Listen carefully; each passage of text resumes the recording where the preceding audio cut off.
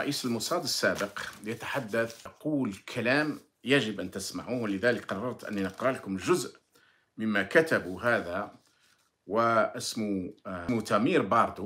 تامير باردو هذا كان آه، أحد رؤساء الموساد السابقين لمن لا يعرف الموساد الموساد هو آه، هو ال DRS نتاع نتاع الكيان الإسرائيلي ولكن DRS اللي يخدم طبعا هو ال DRS الخارجي. هو الجهاز المخابرات الخارجي للكيان الإسرائيلي لكن ليخدم الكيان الإسرائيلي وليس ليدمر الكيان الإسرائيلي كما تفعل دي عندنا إحنا. فهذا تامير باردو والموساد كما تعرفون أيضا يقولون عنه أنه واحد من أكثر المنظمات الاستخباراتية الخطيرة في العالم. وهدفهم الرئيسي هو خدمة إسرائيل والكيان الإسرائيلي. وش يقول هذا رئيس الموساد السابق تامير باردو؟ يقول إن إسرائيل متورطة في كارثة بسبب الأزمة الداخلية المتصاعدة. ويشن هجوم عنيف على رئيس الحكومة الراهن نتنياهو وقال بأنه أسير لائتلاف حاكم وأنه توقف عن الإصغاء إلى الآخرين نتيجة لضعف نتنياهو. وقال من بين الكلمات اللي قالها قال بكلمة واحدة نحن في مصيبة تحدث الآن. وهي في حال التكون. في هذا الشهر سأبلغ السبعين من عمري. ولو كان أحدهم قد سألني قبل سنة أو سنتين أو ثلاث أن هذه ستكون صورة إسرائيل الحالية لقلت له إنك تهذي لأن إسرائيل لن تبلغ أبدا لهذه النقطة. فهذا غير ممكن. ولكن ها نحن نقف أمام الخطر الوجودي الأكبر منذ 1948 ويضيف لو شهدت لو شهدت لو شهدت دولة معادية لو شهدت دولة معادية ما نشهده اليوم؟ لقلت لرئيس حكومتي أسمع أنا لا أريد أي ميزانيات من أجل مواجهة هذه الدولة المعادية فهي قررت القيام بنفسها بتفعيل جهاز التدمير الذاتي.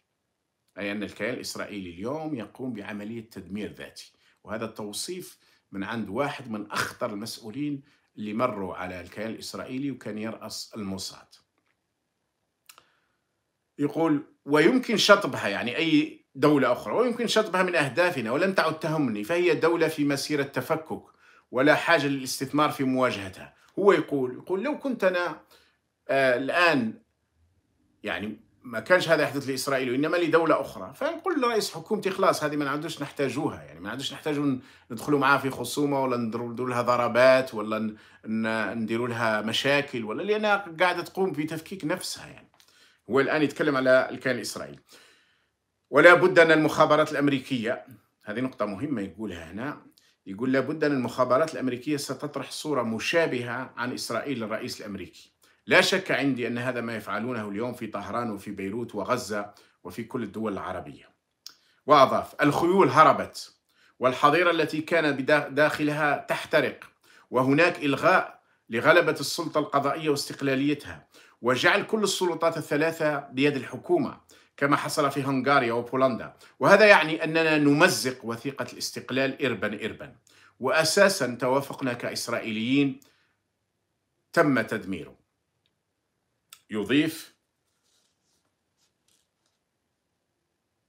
يضيف أن سموتريتش وبن غفير هذو اثنين من الوزراء لعلني ذكرتهم لكم كثير من المرات وتحدثنا عليهم وهم متطرفين جدا. لكن هو هو كيفاش يصفهم يقول أن سموتريتش وبن غفير بأنهما يشكلان العنصر الأخطر في هذا الوضع فهما يدفعان نحو تأسيس دولة شريعة شريعة اليهود ودولة فصل عنصري أبارتيد وتعبير وتغيير الجهاز القضائي وهو وسيلة تمكنهما من مآربهما.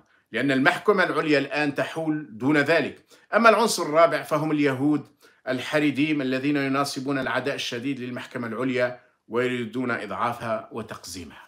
إذا هذا آه، ما هوش صحفي ولا حتى سياسي أو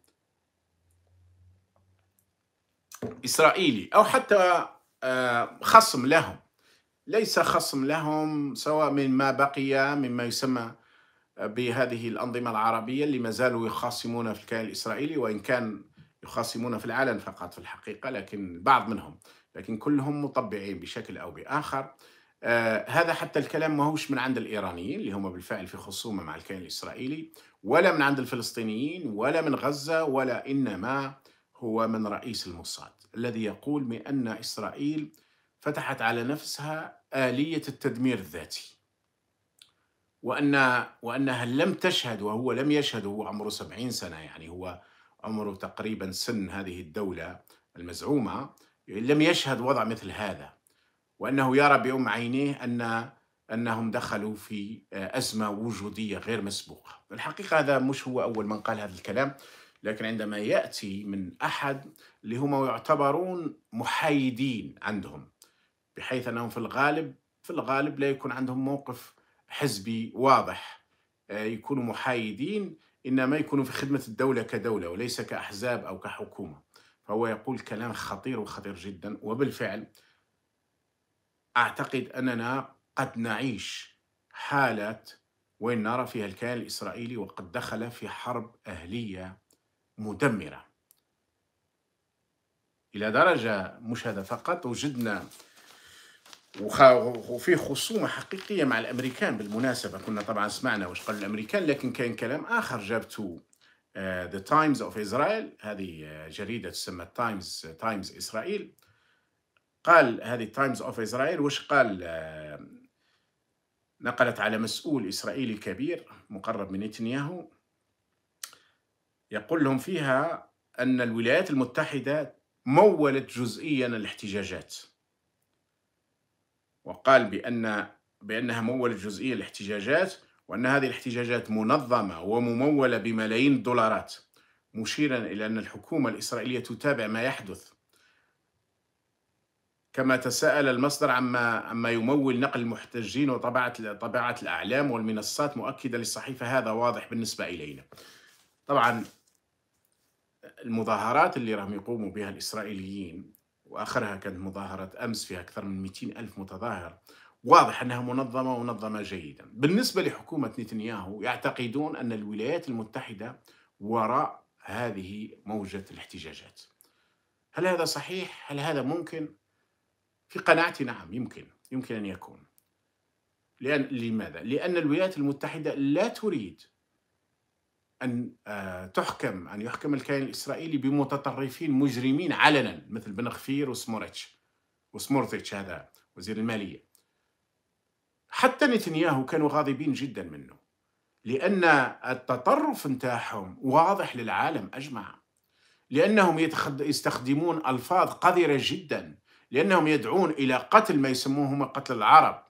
لأنهم يقتلون بالفعل الفلسطينيين وبدم بارد لأنهم يحتفلون بقتل المدنيين. فهذا كله يضعف الولايات المتحدة أمام العالم لأنها تدافع على هذا الكيان الذي أصبح نازي عنصري قاتل.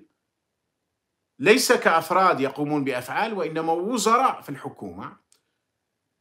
وإضافة إلى ذلك أنهم يريدون تغيير الأوضاع التي نشأ عليها هذا الكيان وهو توازن السلطات البرلمانية والتنفيذية والقضائية. يريدون أن يصبح القضاء خاضع للحكومة.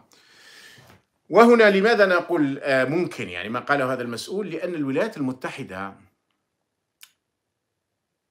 كان دائما الناس يتساءلوا هل هل إسرا... هل الولايات المتحدة خاضعة للوبيات الإسرائيلية وهي التي تدير الشأن الأمريكي؟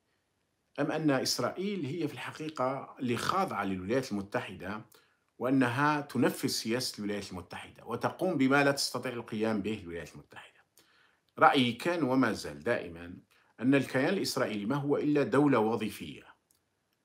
وجد صحيح لحل مشكلة اليهود في أوروبا ولكنه وجد أيضا ليخدم والولايات المتحدة استخدماته في إطار إخضاع المنطقة. وفي إطار توتير المنطقة وفي إطار آه، دائما أن تصبح تبقى هذه المنطقة تحت حذاء الولايات المتحدة. الولايات المتحدة طردت حتى الفرنسيين والبريطانيين وغيرهم من الأوروبيين من المنطقة من منطقة الخليج بشكل أساسي باش تبقى هي المسيطر الرئيسي على منطقة الخليج ومنطقة الشرق الأوسط وهي تدير كل شيء. فالكيان الإسرائيلي قناعتي كانت دائما وما تزال والأحداث هذه الآن تظهر ذلك هو أنه في الحقيقة هو كيان وظيفي دولة وظيفية في خدمة الولايات المتحدة. والولايات المتحدة ترى أن هؤلاء المتطرفين يدمرون هذا الكيان يظهرونه على حقيقته بما فيه من قبح وبما فيه من بؤس وبما فيه من عنصرية وأن هذا يزعجها ويزعج الأنظمة الخاضعة لها والتابعة لها. سواء كان النظام السيسي أو الإماراتي أو البحريني أو السعودي أو العماني أو المغربي أو كل المطبعين. طبعا الآخرين اللي مش مطبعين آه، يزعجهم لكن ما هوش نفس الإزعاج. مش نفس الإزعاج لأنهم أمام شعوبهم لا يظهرون أنهم مطبعين. لا في العراق مثلا ولا في الكويت ولا في الجزائر. شوفوا الكويت والعراق على سبيل المثال هذول محتلين من طرف الولايات المتحدة. تديرهم الولايات المتحدة. الكويت هي قواعد أمريكية أكبر قواعد أمريكية في الخارج موجودة في الكويت وقطر آه وفي العراق بطبيعة الحال. لكن هذه الدول لا يطلب منها أن تكون لها علاقات مع الكيان الإسرائيلي. على كل واحد عاطينه وظيفة يديرها. نظام الجزائري أيضا لا يطلب منه العصابة عندنا لا يطلب منها أن تكون لها علاقات مع الكيان الإسرائيلي. لأن الإمبراطور الكبير هو اللي يوزع الأدوار. نظام الجزائر عاطينه دور أنه مع فلسطين ظالمة أو مظلومة. في العلن وفي السر. والشبه السري يعطي الدراهم العباس اللي هو ميليشيا نتاع إسرائيل. جات بإرادة أمريكية إسرائيلية. لكن أمام الشعب خاصة الناس اللي ما تعرفش وما تتبعش وتسمع للبروباغندا يقول لك رانا مع فلسطين ظالمة ومظلومة وقوية إلى آخره وإحنا ماناش مطبعين وإحنا كلكم مطبعين. إنما هناك مطبع بوجهه وخارج علنا وما يهموش الشعب وش يقول ولا وش ما يقولش وهناك متخبي من الخلف وكل له دور مرسوم. كل له دور مرسوم. للأسف الأنظمة القائمة اليوم في المنطقة العربية كلها وإن كان بدرجات متفاوتة لكنها كلها أنظمة وظيفية تخدم القوى الكبرى. قبل أن تخدم شعوبها؟ بعضهم يخدم شعوبه في حدود معينة وبعضهم لا. يقهر شعبه يذبح شعبه يخنق شعبه يغرق شعبه في أزمات ليس لها حدود. آخرها أزمة الزيت والسميد والحليب على سبيل المثال. هذه الحقائق.